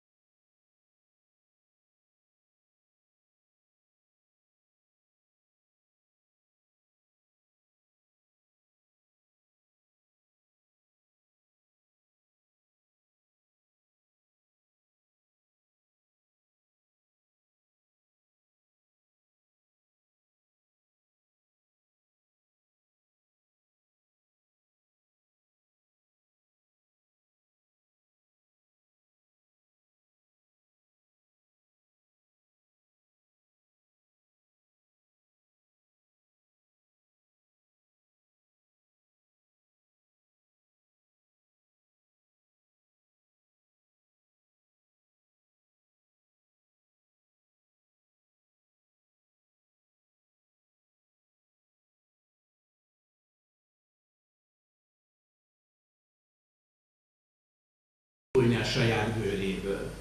Ugye? De nem csak arról volt szó, hogy Európa gazdasági értelemben vetettem alá a világ más térségét, Latin-Amerikát, Afrikát, Ázsiát, hanem vele exportálta az, az, azt az európai társadalommodellt is, ugye, amelyik keresztény, amelyik ennek megfelelően, ami nem keresztény vallású, azt lenézte, elnyomta, nem fogadta el, amelyik alapvetően férficentrikus, nagyon fontos látni, hogy az egésznek a macsó jellege, tehát az, ami brutális formában ugye megjelenik aztán, például Latin-Amerikában, az ottani alapvetően európai gyökerű társadalom fejlődésben, patriarchális jellegű tehát, és egy sor egyéb vonása van, mindent nem sorolnám fel, tehát látni kell, hogy ez persze tehertétel is, de egyben tulajdonképpen ez is része a, ez a fajta network, ez a fajta hálózatiság is a mai ö, ö, európai integrációnak. Összességében ebben az értelemben, tehát ezek a kapcsolati hálók egyesülnek abban, ami az európai integrációs folyamatnak hát egyben a sikere is, erői is, meg bizonyos szituációkban a, a gyengéi, eh, handicapjei. Utoljára, és azt hiszem, hogy tényleg csak ezt az utolsót fogom vetíteni, azt hiszem más már nem akartam, ugye mégis szólni kell a görög válságról, tényleg talán a legfontosabb az is emelten ki pirosban, hagyjuk abba a görög nép sértegetését. A görög válságnak nem a görögök, vagy tágabban a mediterrán népek lustasága, adóelkerülésre való hajlama, stb. az oka. Az igazi ok, ez a, az egyáltalán az egész Maastrichti megalapozottságú Európa, amelyik úgy ö, ö, próbálja ugye, egyfajta supranacionális szintre emelni az európai integrációt, hogy közben nem teremti meg, nem hogy nem teremti meg a kiegyenlítődés lehetőségét, hanem éppen súlyosbítja az európai államok, európai térségek közötti egyenlőtlenségeket. Ez nagyon fontos látni. Tehát biztos van szerepe annak is, nem egyforma nyilván az adómorál Svédországban is és Görögországban, de nem ez a döntő tényező, hanem igazából az a különös és nem véletlenül a görögöknél a legsúlyosabb helyzet, ugye relatíve a legkevésbé fejlett gazdaság, amelyik csatlakozott, ugye némi hezitáció után, mert a görögök csak 2001-ben csatlakoznak a egyébi kés, egyéb késletetéssel csatlakoznak az Európai Monetáris az euróvezethez, de végül is csatlakoznak olyan feltételek között, ami gyakorlatilag Görögországot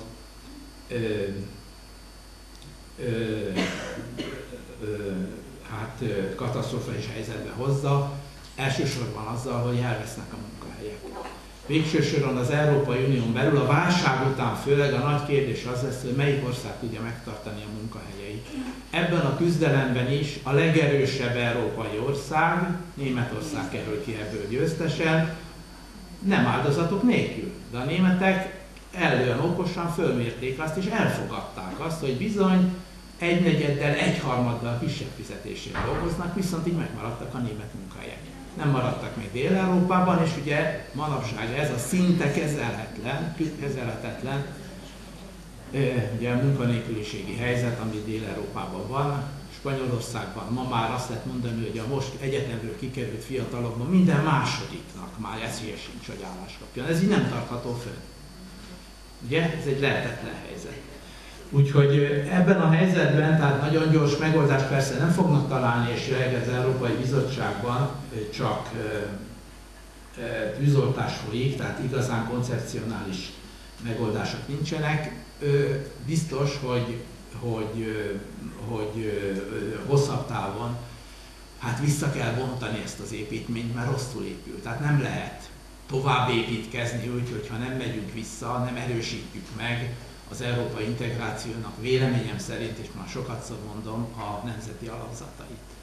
Hát nem lehet szembefordulni, a történelem nagyon komoly dolog, nem lehet szembefordulni a történelmi gyökerekkel, vagy lehet, de akkor válság esetén ilyen helyzet áll elő, amit most tapasztalunk.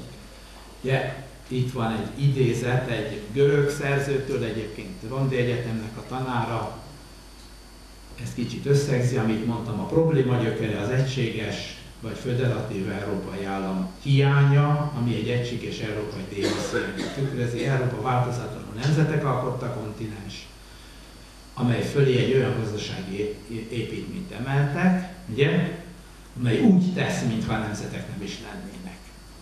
Ugye, tehát ez az, az eset, amikor a fagylat visszanyal, és nem lehet szembefordulni ezzel. Ez döntő szerepet játszott az Eurózóna válságának kialakulásában, stb. Tényleges oka nem a fiskális fegyelmezetlenség, tehát nem azért, mert a görögök lusták meg csalók, hanem az a körülmény, hogy a periférián elhelyezkedő országok valamennyien elvesztették versenyképességüket. Az elmúlt ez az Európai Monetáris Unió tagokat mereven rögzített cserhanyának, egységes pénzügyi politika, és kívülről diktált fiskális fegyelem, Ugye? Az azt jelenti, hogy a fiskális politika, tehát a költségvetési politika nemzeti hatáskörben marad, miközben kívülről ugye előírják, hogy hogyan fogadja el a parlament. Ez önmagában megkérdőjelezi a nemzeti szuverenitást. Ez az egész egyelőtten versenyt eredményezett az EU-n belül, a versenyt Németország nyerte meg, az államfegyelmező szerepének, a német munkavállalók meghátrálásának, vagy hát ha tetszik józan belátásának, így is lehet fogalmazni, mert végül is a saját érdekeiket nézték, a jólötti állam létének, ugye, tehát annak is, hogy egy csomó olyan vívmány van, aminek a leépítését nyilván az európai társadalmak nagyon nehezen tudják elfogadni, és más intézményi tényezőknek köszönhetően. Ez tehát a kérdés, Európa jövője, ebben a dilemmában, tehát hogy szövetségi szupremáciai szervezet, tehát valamiféle Európai Egyesült Államok, amit egyébként Churchill már felvetett a második világháború után, vagy pedig egy olyan, amelyik a nemzeti szuverenitás megőrzi megerősíti, és arra épít rá egy konfederatív kormányközi együttműködést. Én azt gondolom ez utóbbi, de ettől most sajnos nagyon messze vagyunk, a dolgok összekuszálódtak, kaotikussá váltak. Köszönöm szépen!